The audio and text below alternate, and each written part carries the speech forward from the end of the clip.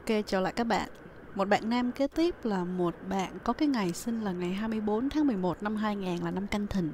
Lấy cái giờ cho bạn này là giờ tỵ là khoảng 10 giờ 30 thì khi chúng ta nghe giờ tỵ là chúng ta biết anh chàng này là người thân cư thê thiếp. Bạn này hỏi những câu hỏi sau đây. Đầu tiên là xem cho công việc cung phu thê, cung tài bạch và cung điền trạch. Rồi mời bạn Phi. Ok, um, khi mà mình nhìn vào cái lá số người nam này á thì mình thấy anh này á anh ăn khá cái nhiều cái sao á mà mình có thể nói là trong cái thời bình mình sống bây giờ này anh là người sinh bất cùng thời. Tại sao mình nói vậy? Tại vì khi thân anh ăn phá quân á thì anh có cái sinh hướng là nếu như anh sinh vào cái thời mà có một cái sự thay đổi lớn của xã hội á, cách mạng á thì anh là người có những cái tư tưởng rất là mới nó từ rất là hay nó tạo được cái cái cái sự phát triển riêng cho anh nó là sự thành công rất là lớn. Ừ. nhưng mà sinh vào cái thời thì anh là cái người mà lại là mệnh không thân thiết. Ừ. thì anh rất là cực cực lắm. Ờ, với lại người ta nói là mệnh không hậu phải trung niên.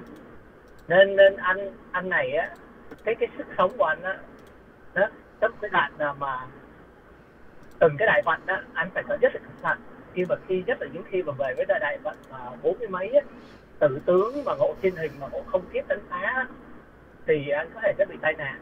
Và cái đại hạn sáu mươi mấy á anh nó phát sát làm những thiên hình không kiếp nhớ thân lần nữa.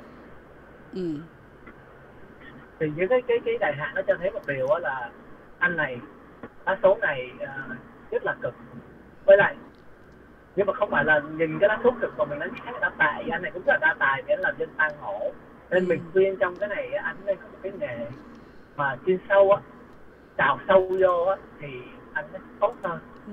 rất là khá hơn bởi vì mình thấy á cái ờ, cái bú phủ á thì nó rất cần một cái sao lọc nhưng mà sao lọc nó lại không đi trong cái tam hợp mạnh của anh Ừ. mà nó lại nằm uh, phá, phá lọc phá khoa nằm bên uh, cung phủ máu mà lọc tồn á thì nó lại nằm bên cung phúc mà phúc một vật thì anh này á nên đi xa ra xa cái nơi mình sinh ra đó nó Ừ. tốt hơn là khi mình ở gần để cho cái cái cái tuần của cung phúc nó nó nó, đỡ đi hơn nữa là cái đại hạn mà tới hết tới là này năm 23 tuổi là anh có một cái thành công khá cá vì anh Ừ. được lòng tồn mà bệnh phú phụ ngộ được lòng tồn thì anh có khá lên đấy Ừ.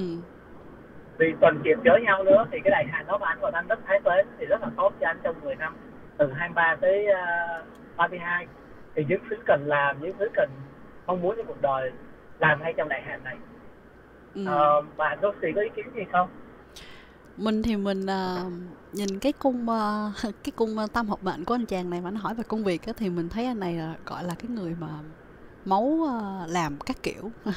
Thì cái à, đầu tiên á là mình mệnh mình là có thiên hình tan môn mà ngộ vũ phủ là cái người gọi là có cái à, đầu óc gọi là thích thích à, kiếm tiền lắm. À, nhất là có hóa quyền nằm ngay cung tại cung mệnh của mình mà thân mình là thân thấy tối là nói là thích là đi ra đường đi làm ngay. À, lên kế hoạch là thôi là ra đường là chỉ tay là làm liền. Thì cái đầu tiên cái thứ hai nữa là mình có những cái bộ phượng cát giải thần mà cái cung tài của mình lại có liêm chinh thiên việt thiên mã. Điếu khách mà đi chung với thiên trù này thì nếu mà em có sau này mà em muốn làm những cái ngành ví dụ như về ẩm thực nè hoặc là lưu lưu động về ẩm thực ví dụ như là giao đồ ăn hay là uh, cho những cái nơi mà giống như là trụ sở gọi là ăn chơi. Ví dụ như ở đâu người ta gọi điện thoại đến người ta muốn ăn món gì hay biết gì là cái kiểu mình phục vụ cũng rất là hay.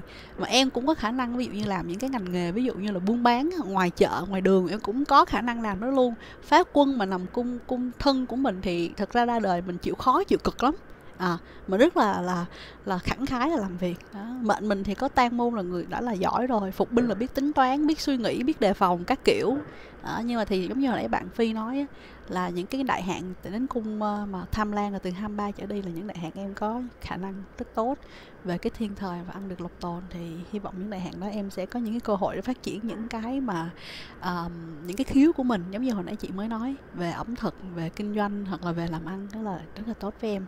Mình dựa vào cái khiếu của mình đúng ngay cái thời của mình là mình sẽ phất thôi. Đó là cái lý do mình học tử vi để mình hiểu những cái đó khi nào thời mình tới khiếu mình có rồi nhưng mà chưa chưa có thời cũng chưa làm được đúng không? Mà bây giờ có thời mà mình không biết mình giỏi cái gì thì mình cũng bị lờ mờ. Thì đây là cái cách gọi định hướng cho cái tương lai của mình.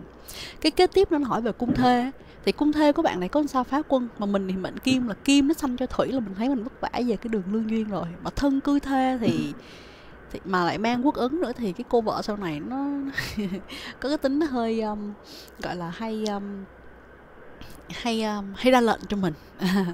Thì cái này là mình ờ, mình biết trước để mình uh, mình uh, dĩ hòa di quý không? Cái kế tiếp đó là em lại có thái tuế nồng cung thê thì cái nửa đời sau của mình tính mình hơi khó tính một chút. À đó là phải coi lại. Và cung tài thì chị trả lời rồi cuối cùng thì đến cung điền. À, cung điền của em thì có thiên cơ cử môn mà gặp tuần triệt. Tuần mà đóng cung điền thì em không có hưởng được cái um, cái um, di sản của bố mẹ hay ông bà để lại cho mình mình là phải tự tay lập nghiệp. Mà điền mình thì có thiên cơ cự môn thì rất dễ có khả năng là sau này mình tạo nhà cửa những cái nơi buôn bán làm ăn sầm uất có đào hoa là những cái chỗ mà gọi là vui vẻ spa hay là quán karaoke đó cũng là gọi là đào hoa.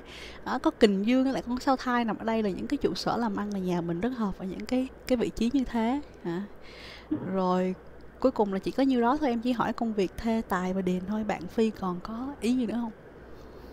Ờ, mình thấy trong cái người này thân cư thê ừ. và cung thê có pháp quân á ừ. thì nên nhớ nhé mỗi lần mà cái chữ định lớn của mình thay đổi á là nó hay liên quan trực tiếp tới cái chuyện mà mình sẽ quen một người mới hoặc là mình mình đi lên uh, mình kết hôn với một người người vợ mới hoặc là mình đi xa với một người phụ nữ mới á, ừ. thì nó hay thay đổi luôn cả công việc của mình à. nên cái này mà bạn phải ờ, để ý một chút cẩn thận có nghĩa là mỗi lần mà quyết định một vấn đề gì mà có thay đổi lớn thông thường á, là hay có sự thay đổi thứ nhất là hôn nhân của mình trước.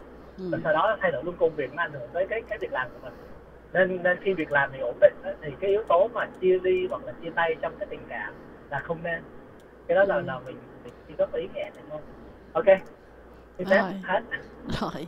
Chào em và chào các bạn. Chúc cho các em trai trong cái lá số này gặp được nhiều ờ, thành công toại ý. À còn một cái nữa chị quên là cái lại cái tiểu vận năm sau của mình á là em phải cẩn thận về vấn đề gọi là ra đường á là phải cẩn thận tai nạn.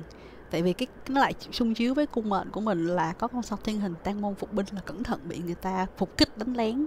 Xe cộ cũng phải cẩn thận năm sau đó là những cái mà chị dặn và tiền bạc năm sau là cũng phải cẩn thận luôn nha. Những cái đó rất dễ bị hao tiền tốn của bị người ta ăn cắp ăn trộm té xe. Đó là những cái mà xô xát ở ngoài. Ở cái năm 2020 á, là em phải cẩn thận cái điều đó. Thì chúc chị em là thành công. À, mình có duyên gặp được nhau ở cái hạn đầu năm nó cũng là một cái rất là hay đúng không? À, nghe được uh, uh, giọng của nhau và nhìn được lá số của nhau, gửi nhau những cái lời khuyên, những cái lời nhắn và chúc cho nhau những cái điều tốt đẹp nhất. Cuối cùng, chúc cho em và gia đình gặp nhiều may mắn. Bye.